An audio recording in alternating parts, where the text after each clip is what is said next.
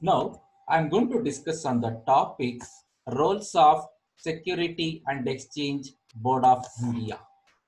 Being a regulator, Security and Exchange Board of India plays an important role in managing overall stock exchange and stock market operation.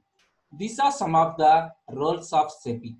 The first one is power to make rules for controlling stock exchange. SEBI makes rules and regulations for the operations of stock exchange, thereby they control the operations mechanism of overall stock exchange. Next is provide license to dealers and brokers. Dealers and brokers are the regulated intermediaries who support in stock exchange operations.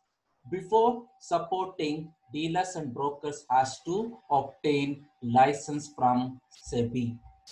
SEBI helps out in providing a proper capital market operations and stop fraud in capital market operations.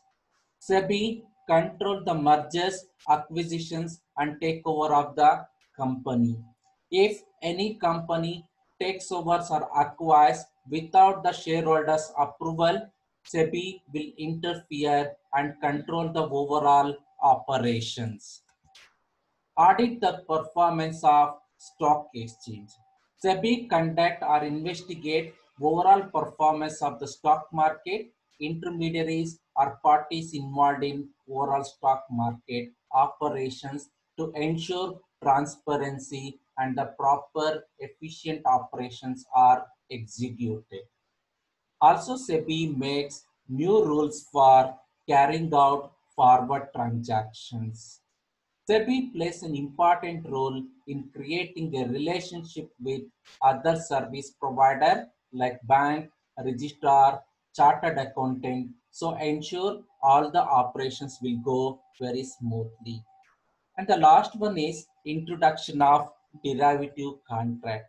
SEBI plays an important role in introducing the various contract mechanism, operations, overall procedures for trading in derivative contract.